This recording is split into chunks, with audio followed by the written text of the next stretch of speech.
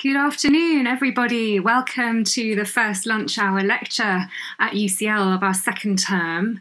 Um, we're very pleased to have you with us here today. I hope you're all keeping well and healthy and managing under these most extraordinary of circumstances. Um, my name is Haidy Geismar. I'm a professor of anthropology and I'm also one of the faculty leads working on the development of UCL East. It's our new campus that's being built on the Queen Elizabeth Olympic Park in East London. And there I'm stewarding a portfolio of different activities called Culture Lab, a series of exciting new spaces dedicated to interlinked programs of teaching, research, and public engagement across the arts and humanities, the social and historical sciences, and the Institute of Education.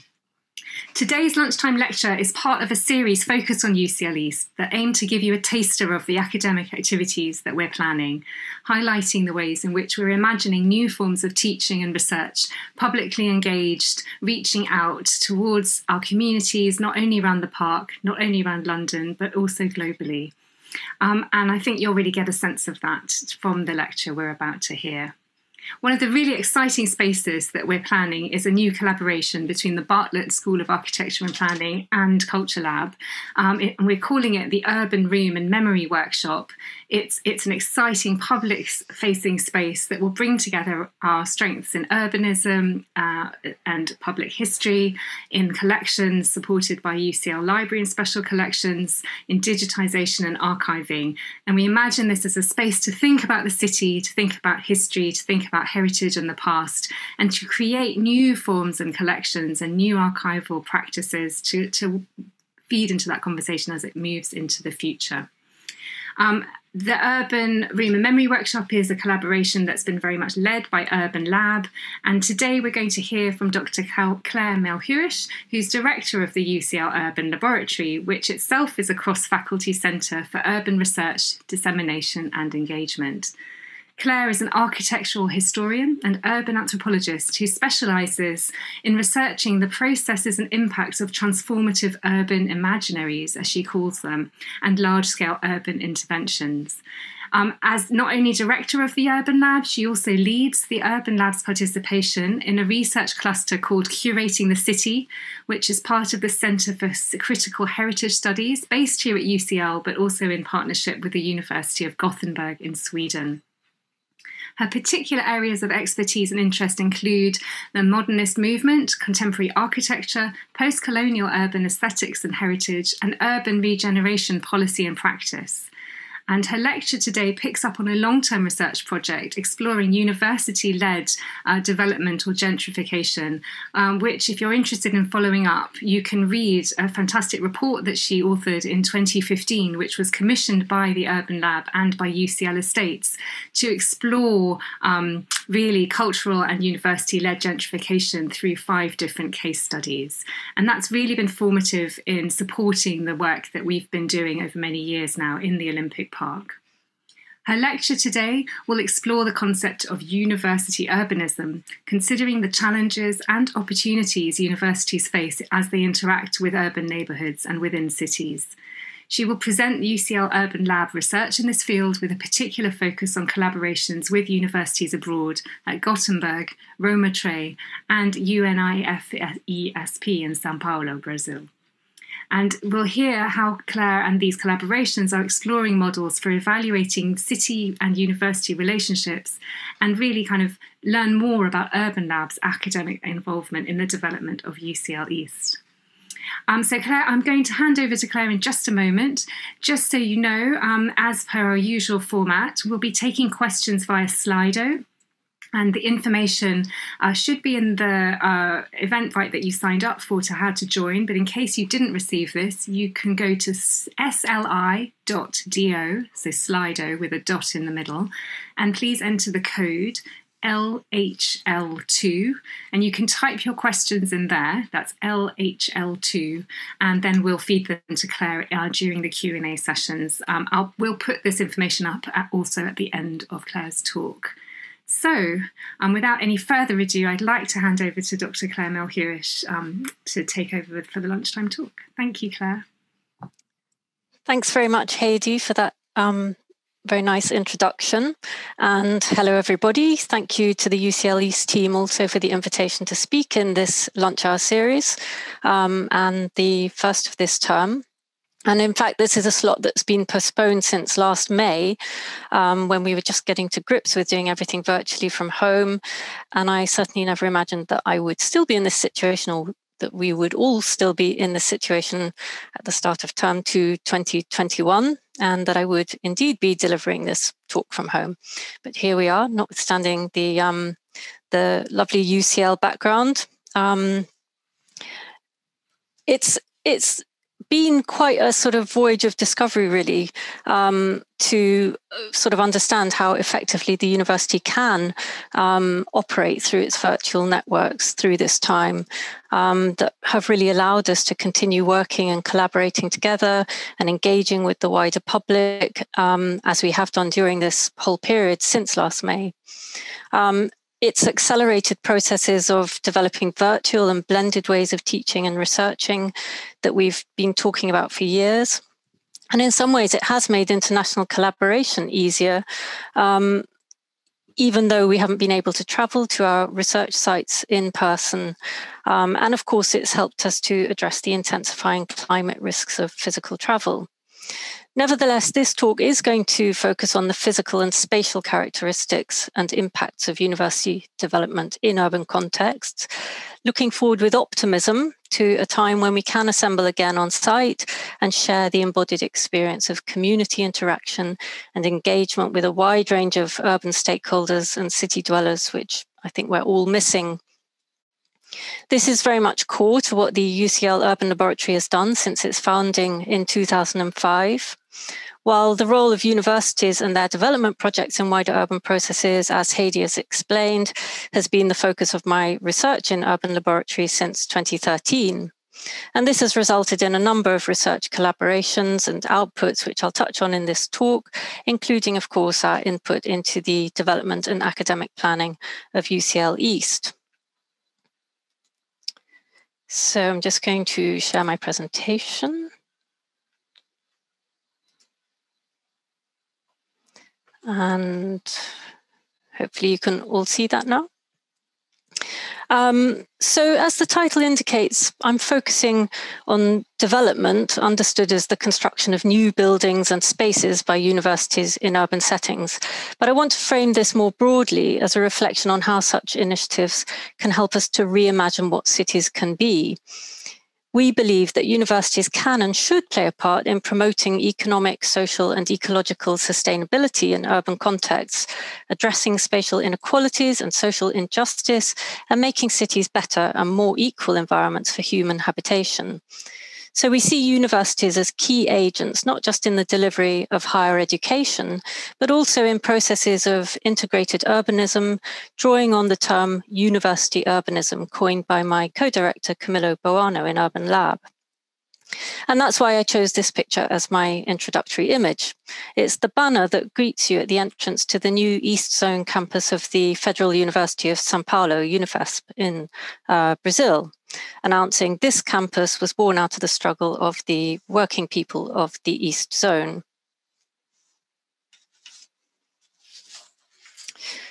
So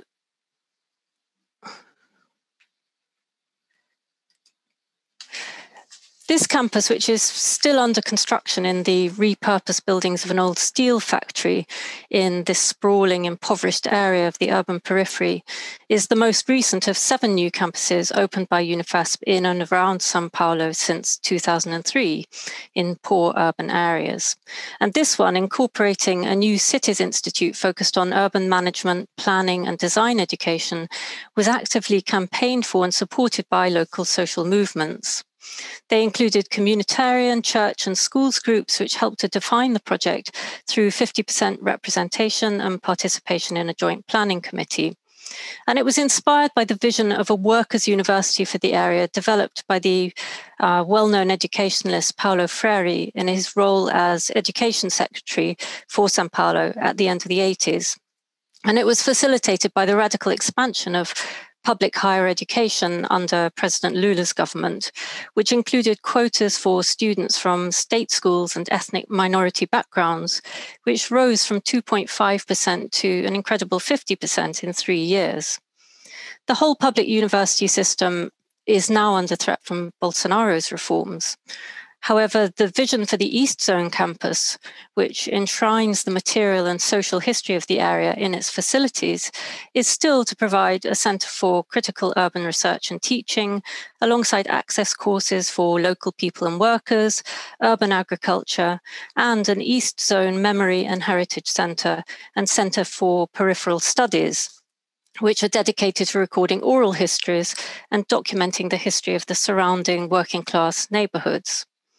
This emerging vision of how a university can engage with and actively participate in reimagining its urban context is set out by Pedro Fiori Arantes, the Vice Provost for Planning at UNIFESP, in a chapter for a new book on universities and urban heritage, which I'm co editing with my colleagues in Curating the City, our research cluster in the uh, Centre for Critical Heritage Studies, which Haidy mentioned.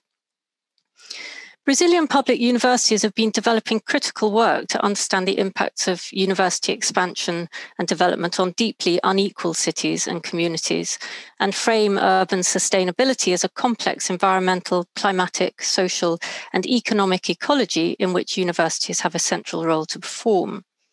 In the last two years, Urban Lab has been very pleased to host visiting research fellows Joel Felipe and Anita Kirker, working on research into the social and environmental indicators for the role of the university as a so called anchor institution in Brazilian cities, and processes of community engagement in relation to university development, with reference to the development of the new UCL East campus and Urban Lab's input and research on universities and urban regeneration over the last few years. And in October 2019, I was invited to UNIFESP to present this work, exploring the renewal of the concept of the civic, public, or engaged university in the UK urban context, and participate in academic discussion around the translation of that concept between the UK and Brazil UNIFESP's new uh, institutional observatories initiative, which I'll mention, I'll explain later in the talk. During my visit to Sao Paulo, I learned a lot about the incentives for Brazilian universities to combine research, teaching, and outreach, working with local communities and public policy as a form of political resistance and as a commitment to social innovation and knowledge sharing through partnerships with other organizations and stakeholders.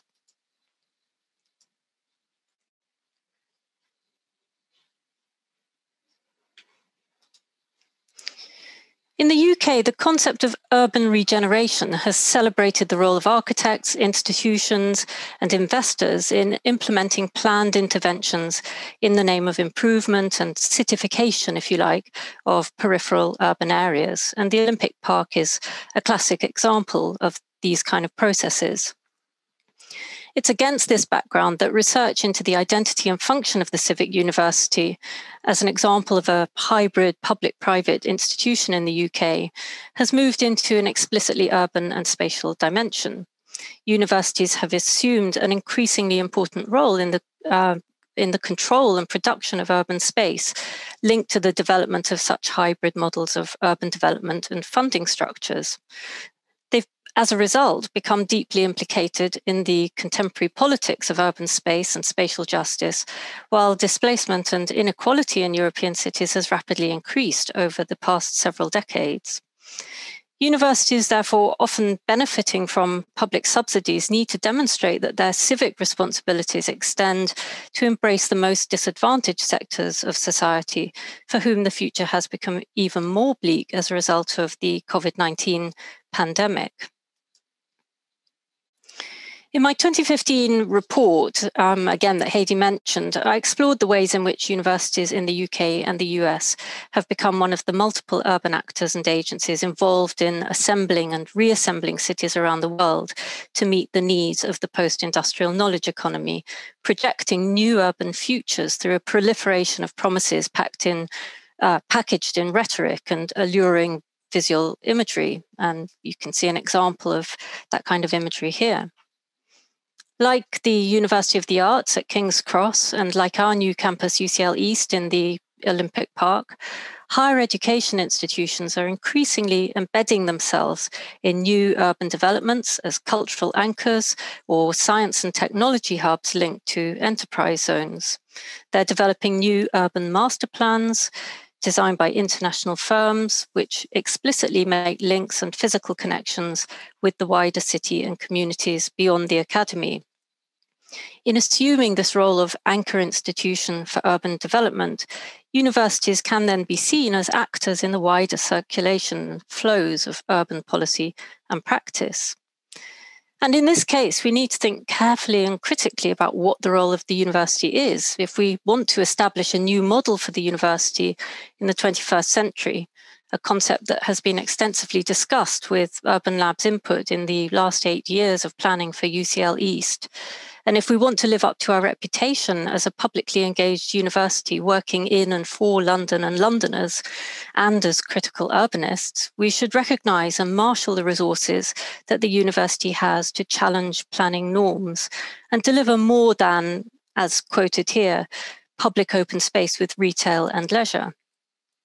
The idea that universities can challenge the unequal distribution of cultural, social, and financial capital, which defines the divided city, both through their own institutional restructuring for widening participation and through the modelling of inclusive urban and public spaces such as parks, community centres, life learning, and healthcare facilities, constitutes a shift away from historic models of the university as a project of elite universal knowledge production, represented by utopian and exclusionary architectural projects.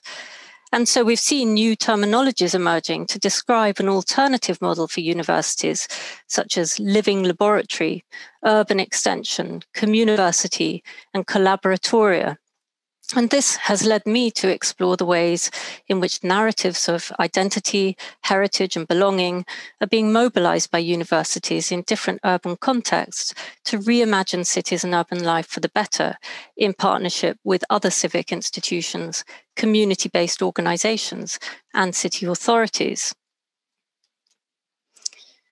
We've been developing this work in Urban Lab both in the context of UCL East and in collaboration with a number of other universities in and beyond Europe. Um, not only the University of Gothenburg and Roma Tre in Italy and Unifesp, but also the American University of Beirut in Lebanon and UTech in Kingston, Jamaica. Much of this work has been funded by the Centre for Critical Heritage Studies, which is a partnership between the University of Gothenburg and UCL, as well as UCL Cities Partnership Programme, Rome Hub, and Unifesp. And it will be discussed in our forthcoming book on universities and urban heritage, hopefully to be published by UCL Press at some point. One of the key insights this research offers is that the discourses and narratives which mediate and mobilize universities' spatial development projects leading towards their objectification as built form, represent a process which is more than one of simple visualization, representation, or projection of the future, as seen in this slide, but rather one of building social relationships among the different actors implicated in it, both within and outside the university.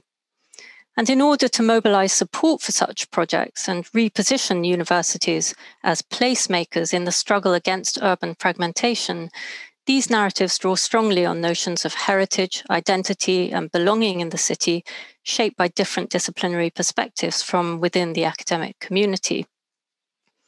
I'm going to say a little bit more now about three of these cases Gothenburg, Roma Tre, and UCL East itself, before concluding with a reflection on possible methodologies for evaluating the impact of university interventions in urban neighbourhoods.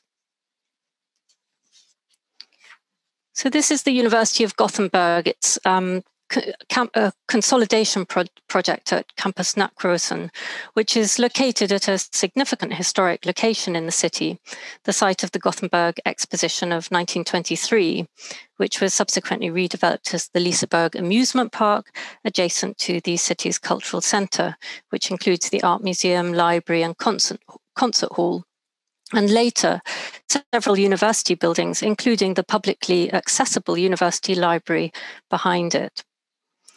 It aroused considerable controversy both within the university and in the surrounding local bourgeois neighbourhood, not just because of the building works involved, but also because of the university's stated commitment to, and I quote, a strong sense of civic responsibility, proximity to city life, and openness to the surrounding society, creating a place where, and I quote again, people from different places and with different backgrounds will meet and work together, yielding outcomes that will exceed the mere sum, sums of the parts. In a city highly divided by the issues of migration to Sweden, challenging assumptions around national identity, the university has positioned itself as a champion for a regenerated urban culture, which makes space for diverse communities of different ethnic and cultural heritage. The project has implicated the university in new kinds of engagements with the relevant urban planning authorities, design consultants, community organizations, and their own student and faculty bodies, which have brought these discussions to the fore. So this is Roma Tre in Rome, um, and this university, the third university in Rome, has been a principal player in the restructuring of the areas of Ostiense and Testaccio, the old industrial areas of Rome, relatively unvisited by tourists and visitors. In 1995, its settlement in the area was agreed as part of a development strategy based on reclamation and repurposing of old buildings to drive a regeneration of the economy based on cultural industries. In 1997, two wings of the redundant Mattatoio slaughterhouse, which again you can see in, in the two top images and, and the one below on the right, in Testaccio, um, for use by the Department of Architecture, um, which opened there in 2000. The professors in the department, professors of architecture and planning, along with scholars in art history and other disciplines, have played a significant part in this urban process, providing spatial and historical analyses, participating in hearings with residents, making assessments and design proposals. And in the repurposed Mattatoio, envisaged as a so called city of the arts, fully integrated with the city, the university department sits alongside other institutions open to the public and passers by. These include the City of Alternative Economy and the Global Village, a grassroots social centre which began illegally squatting the buildings from 1990, alongside Ararat, an organisation for Kurdish refugees.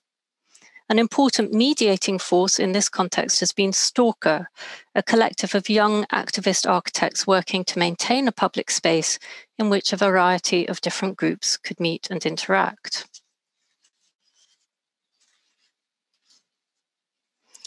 And so we come to the Olympic Park and UCL East. And as many of you will know, UCL has been working in partnership with the London Legacy Development Corporation to develop its new site called UCL East, which signposts not only its geographical location in the east of the city, but also its areas of academic focus, so an acronym for experiment, arts, society, and technology.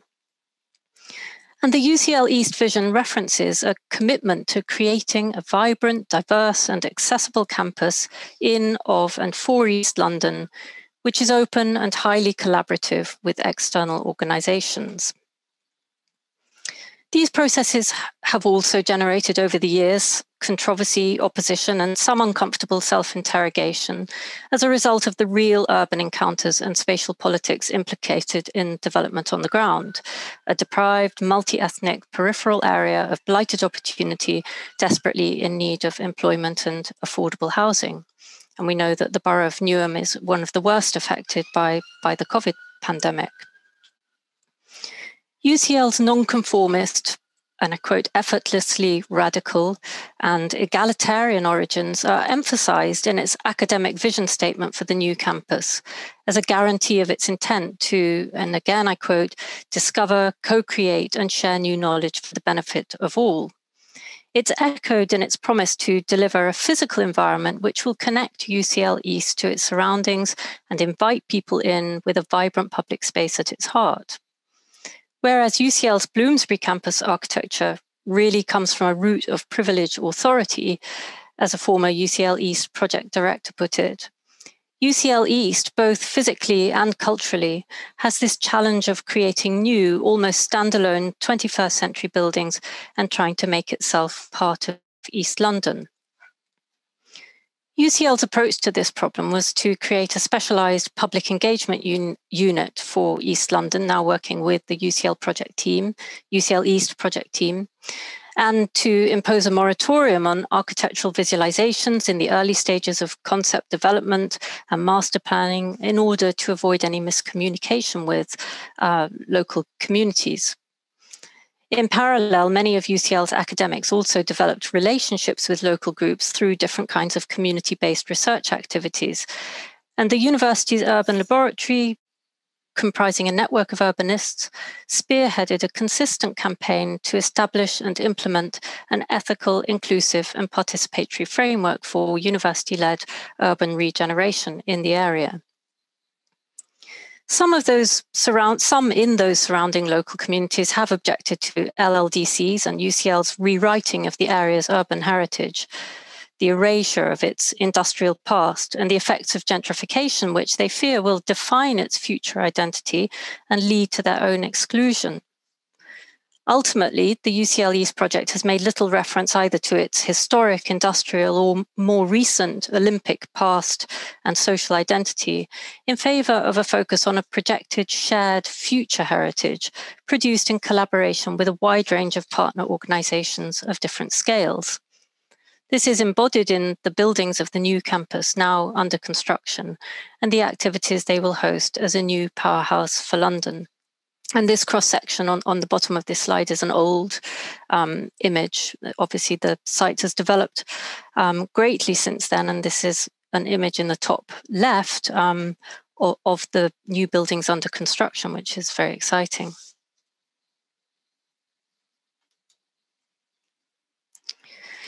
So, as Haidy mentioned again, we're very excited to be involved in the creation of a new urban room and memory workshop at UCL East in collaboration with,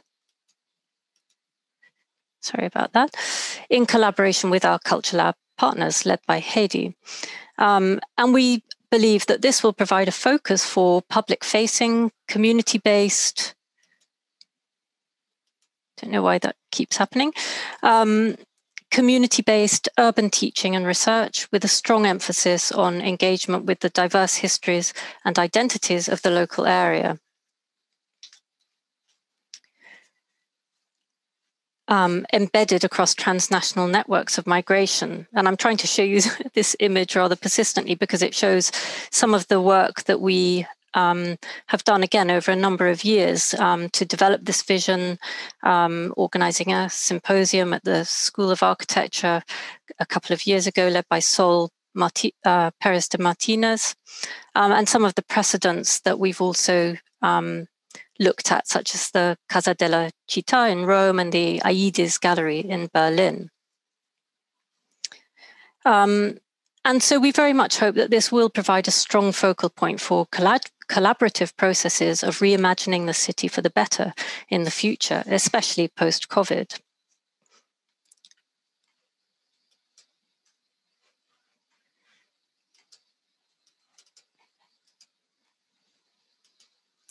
And so this is my final slide.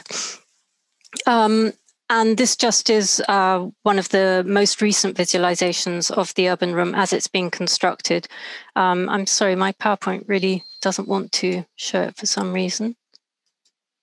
Um, uh, so yeah, we're very excited, looking forward to this. And if you heard Mark Tewdwr-Jones's lecture last term, you will have heard um, more about the concept of the urban room um, as it exists, as it was it was coined by the architect Terry Farrell in his government review some years ago, and Mark um, will have uh, explained quite a lot about the Newcastle example of an urban room that he was involved with um, again over the last few years. So it's exciting to have Mark with us at UCL now.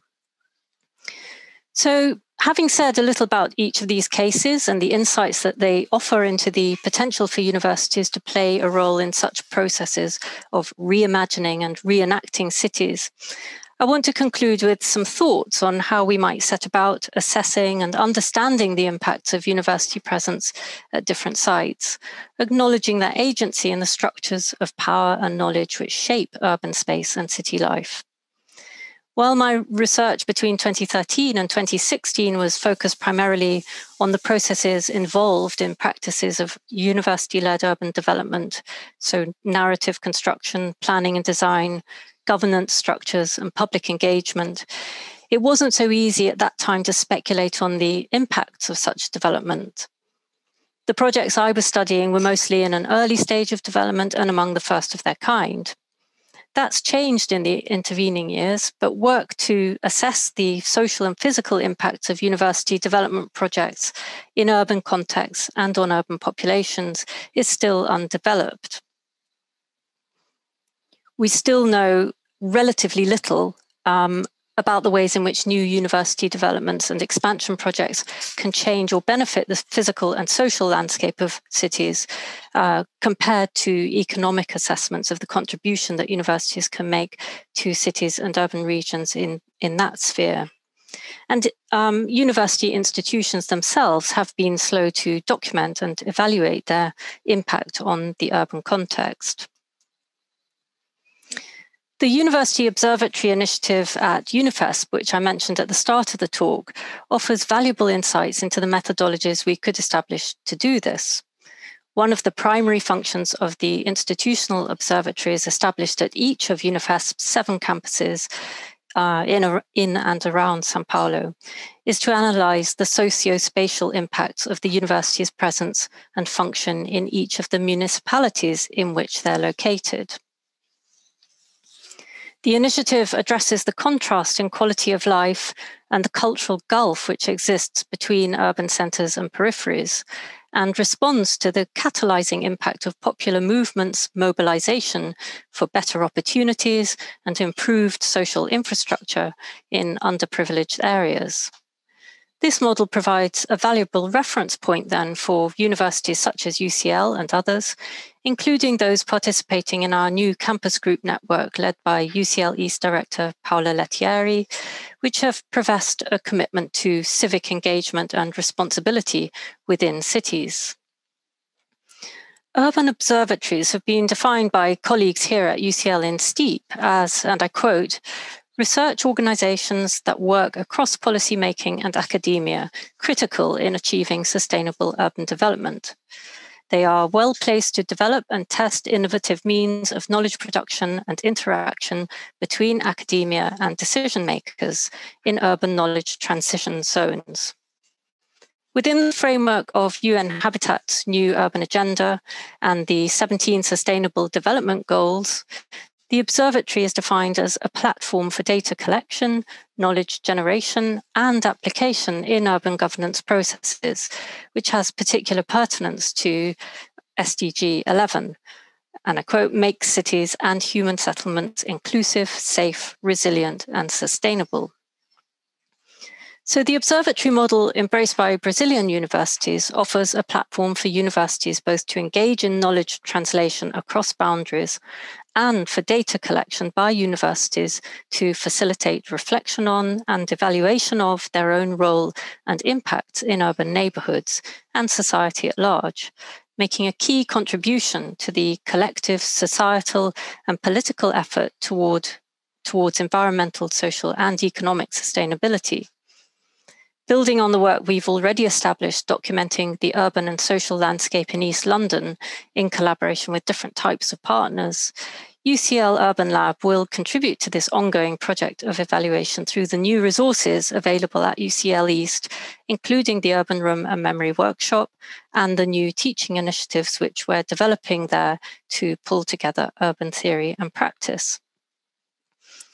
Today, we've moved away from a conceptualization of the university as an inward looking, self contained community, segregated from the surrounding urban fabric, and embrace a vision of permeability, accessibility, and integration with the wider city at different scales, from neighborhood to city region. That has significant architectural and urban design implications for the planning and design of 21st century university facilities and urban context, which this talk hasn't examined. But if we visualize the university as a beacon looking out to the city, we might want to consider an architectural historical precedent before concluding, and one that Mark Tewdwr-Jones also referenced in his talk last term, that of Patrick Geddes' Outlook Tower in Edinburgh of 1892, which he described as an educational museum in every city and village for social cohesion and public betterment, scientific but practical, and designed for practical civic work that could contribute to the evolution of cities the iconic urban observatory for the modern age, as Mark has put it. What then might a network of such observatories or contemporary outlook towers modeled by universities look like across an international scale of interconnected cities? How might it shape and evaluate the circulation and implementation of urban policies and practices? What geographers Ward, McCann, and Roy have termed the assemblage of expertise and resources from elsewhere. And how might they make sense of, and I quote, the complex social lives and genealogies of policies that follow particular trajectories and bring together actors and institutions across different sites and scales, from the local to the national and international, creating new networks and new communities. As this final quote from the anthropologist Cris Shore suggests, this is a challenging project involving multi sited analysis and a transdisciplinary approach, but work which universities are well positioned to undertake within a collaborative framework. And I'll leave you with that thought and hand back over to Haidy. Fantastic. Thank you so much, Clare. That was a really rich presentation, and there are already quite a few questions coming through. Um, just for those of you who may have missed my introduction, if you do want to ask a question, please go to slido, sli.do, and you can type in the code LHL2, and then you can type in your question. Um, I can see from the questions coming in, there's one that's just come in saying, Where on the aerial view of the area will UCL East actually be? And I wondered if we should just show that again very quickly before we go on to the more substantive questions, um, just to orient people who may not be so familiar with the project. Yeah, let me just um, try and get that back. Uh... And just while, while so yeah. it's here. It's called the South Lawn, and it's this site just south of the um, the what's it called? The Arcelor uh, Mittal orbit. Yeah, and so right on the this site here, um, yeah, so this is looking sort of southeast. This is the Carpenter's estate, and this is looking out over Newham towards the east, down towards Barking and Dagenham. And this is the um, Zaha Hadid Aquatic Centre. And this here, you can just see, um, is the the main Olympic Stadium in the park. Fantastic, thank you. And just also to say, for those of you who might want to know more about the project, there's a great website, a UCL East website. If you just Google UCL East um, your, or ucl.ac.uk slash east, I think it is, then you can get a lot more detail about all of the different buildings and academic programs. So, Clare, um, the first question that I want to put to you is from Danny, and they ask about retail and public space. And I think this is actually a great question to maybe ask you to go into a bit more detail, perhaps, of your report, um, because they ask how can we ensure that universities actually enrich their surrounding communities, not just raising the rent and displacing them? And of course, um, my mind immediately goes to an activity that UCL is already doing, uh, which is run out of the law school at UCL called the Centre for Access to Legal Justice, which is actually based on the High Street in the shopfront in the Stratford High Street, um, really making the university embedded in the heart of retail and public space, away from even the buildings that you've been discussing. But I wondered if we could use that question to talk about some of those debates uh, and tensions around university led gentrification. Yeah, I mean, actually, the UCL East case is interesting because um, under the agreement with LLDC, we're actually not allowed to provide any retail space there. Um, and, um, you know, this varies from case to case. And I think the thing that my report underlined, which focused on um, cases in the UK and the, and, and the States, Newcastle, Cambridge, um, Durham in the UK, and Columbia um, Pennsylvania, and NYU in the States. Um, it, it's underlined that every case is different. Um, and so it, you know it's difficult to kind of make kind of uni- universal assumptions about what universities can or can do can't do in, in different sites but i mean i think essentially the key is and this very much came out of my research that you know um, consultation, not just consultation, but um, engagement with local communities from an early stage is absolutely essential to understanding, um, you know, what universities might have to offer in a particular area, what the specific sort of so- social needs are, socio-economic needs are, um, and trying to put, you know, structures in place to enable universities to respond to those challenges. And that is, of course, very complex and challenging work. And universities are not always the most agile of organizations. They're, you know, big institutions made up of many different parts.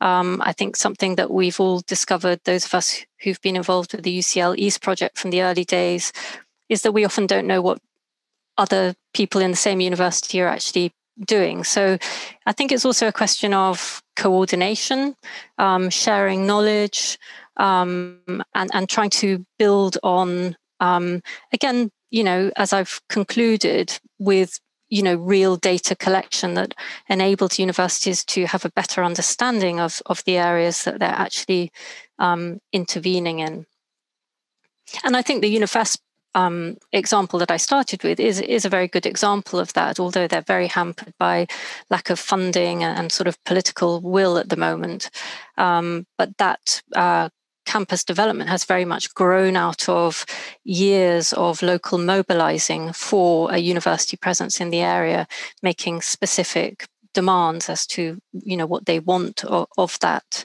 uh, campus.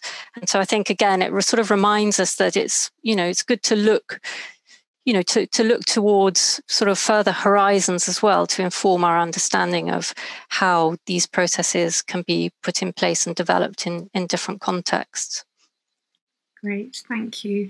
Um, I'm just sort of jumping around in the questions to try and cluster them a bit because there is a there is a question which is a bit more uh, critical, perhaps, of UCL, saying no one what but UCL wants the university to be in the east. So why is there this social rhetoric? And um, in the question saying. Um, it's not it's justifying it as local need is dishonest so i wonder if that's an op- there is an opportunity to talk maybe for you to talk about some of the data that or and work that we've done which has been about interfaith particularly through urban lab actually which has been about really finding out what communities do need and want um, and, and filtering that back into the university because I know that you have done that work over a long period of time. Yeah, I mean, I don't think it's quite true to say that UCL has justified its presence as a response to local need. I think, you know, the university has always been quite honest from the start that it needed more space. Um, you know, land in East London was relatively cheap um, there was a, an offer of government and um, mayoral support with this new campus inside the Olympic Park.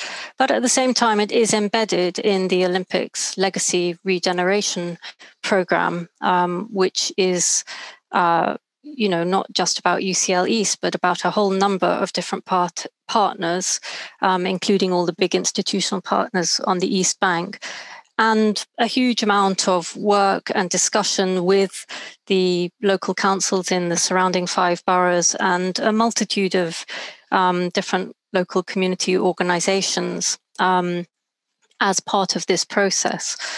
And uh, you know, as I mentioned, you know, there are a lot of academics who've been individually or you know within their departments working on research projects or with students to understand um, the conditions in local neighborhoods better, such as our colleagues in the DPU, um, working with uh, residents of the Carpenters Road estate, for example.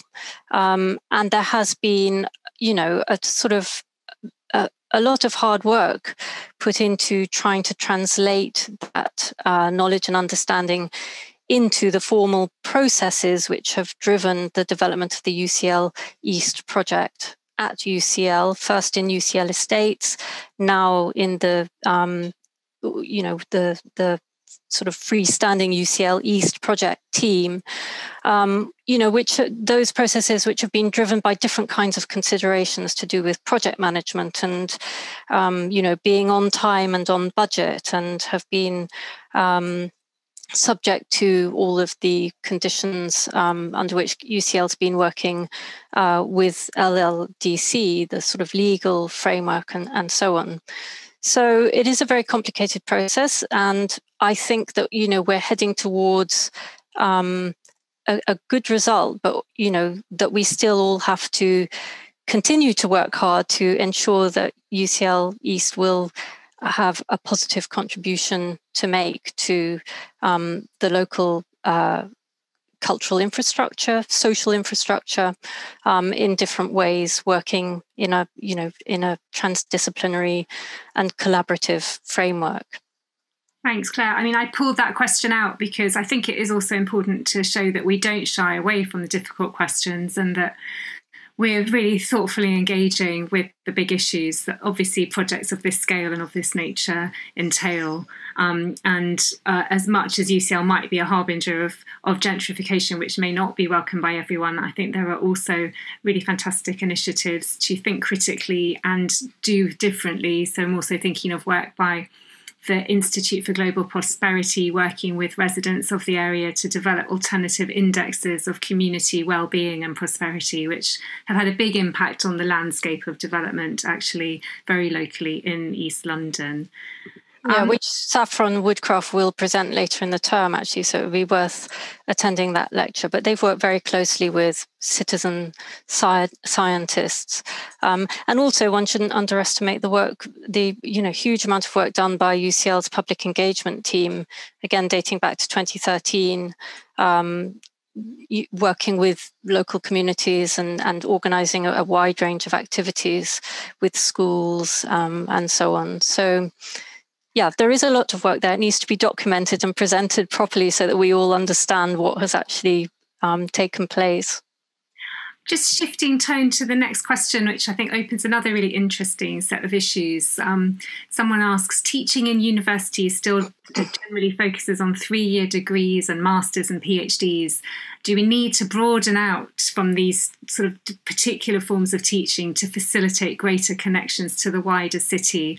And I think that's a really interesting question that I know we are talking about a lot across the range, across all the faculties that will be at UCL East. And I think, I mean, the urban room as a pedagogical space for informal learning is obviously a really exciting resource, isn't it? I don't know if you want to talk about the kinds of other ways of learning that we imagine developing through that space.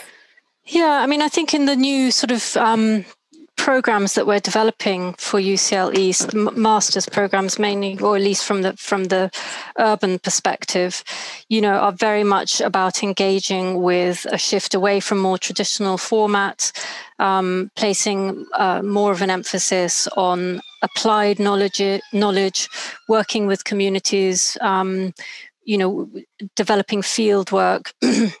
and um, fieldwork based projects, um, a, a, you know, a sort of problem solving approach. So, again, I think, you know, um, one has to remember that the whole sort of vision for UCL East was really to be able to develop um, a, a, slightly less traditional kind of teaching than UCL has done historically. And that, again, is very much what the rationale for this project is all about. Um, and the fact that the site, you know, the new campus is based in the Olympic Park in a in a live uh, regeneration site is very exciting for us, particularly us urbanists, actually to be able to be out there at um, you know close hand um, to our research sites is um, a really interesting opportunity which again I hope that we can make the most of and really inform how the ongoing development of that whole um, area of London, which will continue for many years, um, you know, again takes shape in the best possible way. Thank you. And a, a question that just got up voted was um, is another sort of tack on this, alongside thinking about really opening up the kinds of courses. Another, I know, important theme that we've been talking about as the sort of academic planning team has been sustainability and environmental considerations. And someone has asked, what are some of the ecological impacts that urban regeneration has had? And I wondered if you could speak a bit to that aspect of your work and research. Yes, well, I have to feel rather less positive about the ecological impacts of urban regeneration at the moment. And, you know, this is something that we're thinking about very much in a sort of post COVID city context.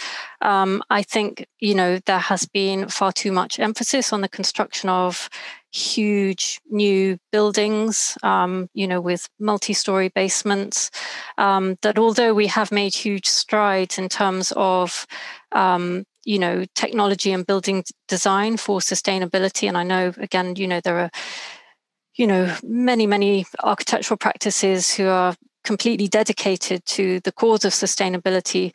Nevertheless you know construction in itself is um, not necessarily a, a sustainable uh, kind of activity. And we probably do have to kind of turn our focus um, more to uh, thinking about you know really sort of radically alternative ways of providing space for our activities, repurposing existing space, um, and of course engaging with these virtual networks that we've all been uh, plunged into over the last year to sort of blend physical and, and virtual um, activity. You know, bearing in mind, of course, that you know data also um, you know uses an enormous amount of energy and is not particularly sustainable in itself. So these are very difficult questions but i think we have to you know think very radically about how we remodel cities for the future um, in response to the climate emergency. And of course, as one of our fellow faculty leads, Kate Jones is, is stewarding a whole project for UCL East called the Living Landscape, which recognises that we are in a park and and uses the buildings, particularly the Pool Street building, um, to sort of think about how we can be na- what she's um, developing a program called Nature Smart. So just above the urban room, actually, there's going to be a green roof, which will be a citizen science space with a whole lot of uh, ongoing interventions and experiments into the natural landscape and the environment of the park and our relationship to it. So that's a really interesting nexus as well for future projects and research in that space and site. Um, I think we've got time for one more question and. Uh, maybe this actually follows on uh, in terms of your own the way in which you situate your own work. So I um, uh,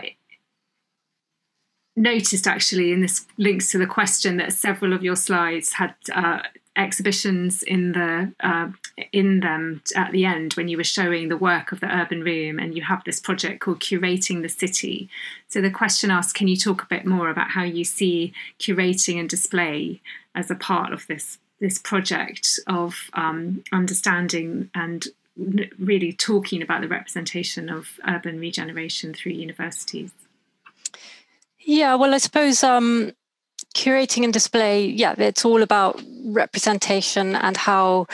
I, I mean, my interest is in very much in how um, you know quite r- radical transformative urban processes have been represented and looking back historically to the you know the the sort of um, big post-war urban redevelopments you know of, often on bomb damaged sites and the discussions that took place then um, between those in favor of rebuilding and and, re, and and sort of restoration and those who you know inspired by a, a, a great deal of social idealism um, you know the, the, the modernists really um, you know committed themselves to rebuilding the, cities in in a new way that would actually provide better opportunities you know bet- more social equality more green spaces in cities and so on and so forth. Um, and you know it's interesting that there's been such a sort of I mean, now I'm speaking as um, an architectural historian,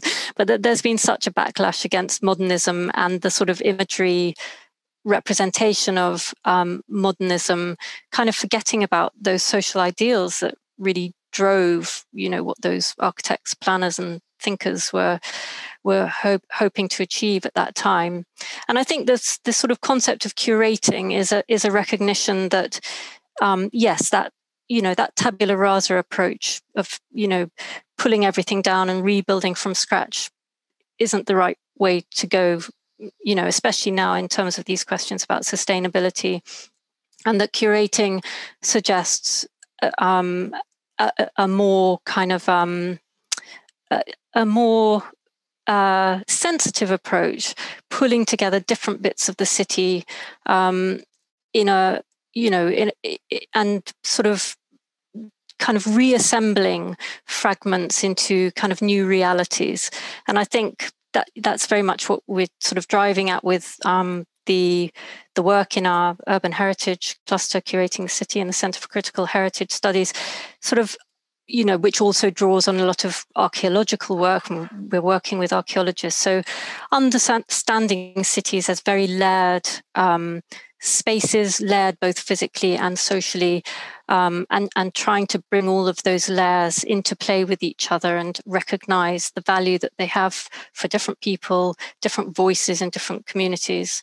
And that, you know, also kind of relates very much to my own research, which has been based on ethnographic methods, um, bringing different voices into play in the way that cities are kind of articulated and and understood. And communication is key to that. The way that you know the, the new ways that we find to um, communicate and represent those ideas in themselves. Great. I think that's a, a very good place to draw the to a close on a kind of very positive note, actually of new forms of engaged practice that the university can contribute to the ongoing project of the city, which is obviously so much more than the university, and to be humble in that process as well. Um, and thinking as curating as not just a top down process, but a process of co production mm. and community building as well. So thank you so much, Clare. That was a really rich talk. Um, there were some good questions, some tough questions, which you handled very well, and I think um, showed I think the ongoing commitment, particularly through Urban Lab, of really dealing with some of these complex questions and mediating them between the different communities that surround these big regeneration projects led by universities in collaboration with many other stakeholders corporate and community. Um, thank you, everybody, for taking time out of your lunch breaks uh, to join us as well. Um, if you do want to find out more about upcoming lunch hour lectures, um, you can visit the UCL Minds webpage um, for the next uh, for the timetable for the rest of term. Um, and in the meantime, I just hope everybody keeps safe and well, uh, stays at home as much as they're able to, um, um, but carries on joining with one another uh, through the means that we do have through the internet and hope that we can all meet together in person in a not too distant future. So thank you. And thank you also to Matt Olcott and Sana Al Busaidi for helping us to organise uh, so seamlessly and smoothly the technology um, and administration of the event. So thank you both very much as well. Great. Take care, everybody, and we'll say goodbye. Thank you, everybody. Bye.